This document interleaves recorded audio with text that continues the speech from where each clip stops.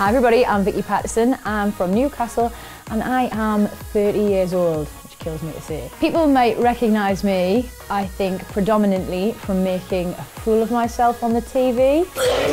Trump. I was the first person to walk into the Geordie Shore house ever. I since then have done numerous reality TV shows, Ex on the Beach, oh, Queen of the Jungle. But now you will see me as the face of MTV's brand new body transformation show. Three best things about me are number one, I always am up for a party. Number two, I don't take myself too seriously. Three, I don't suffer fools. You always know where you stand with us. Three worst things. I can be quite cranky.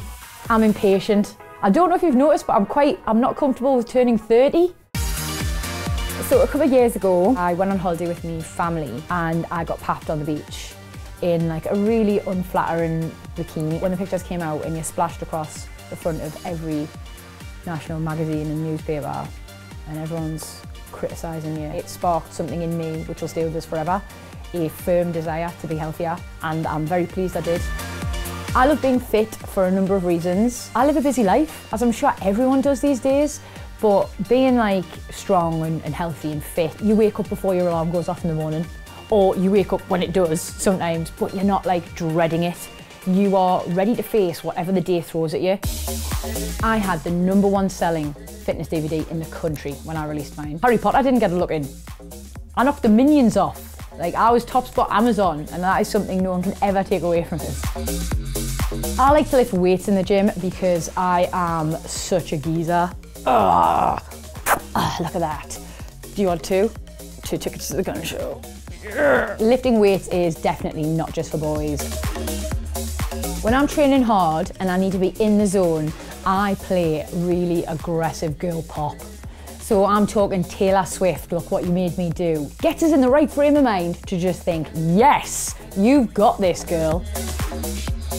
I am mad, mad in love with all of the Kardashians. But Khloe I can't help but have like crazy love for because she puts her workouts on Instagram. You see how hard she grafts. You do see I get her head down. You do see her sweating in the gym. So I've got a lot of time for her. What is in my gym bag? A Litre bottle of water, a hoodie, ankle weights, a protein shake normally, sometimes a snack. I do like nuts. My best motivational line, you didn't come to be average. Three things I always buy without fail when I go food shopping. Almond milk, cheese, gin. Don't judge me. Three things you'll always find in my fridge. Greek yogurt, tomato ketchup, I know I shouldn't, and cold water. Pre-working out, I like something like porridge oats. It's like a wholemeal toast, maybe some scrambled eggs, a little bit of avocado.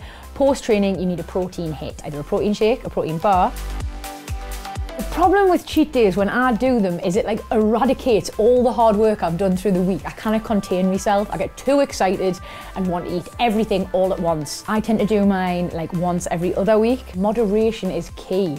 If you never fall off the wagon occasionally a little bit, then it'll all mount up and build up and you'll just explode.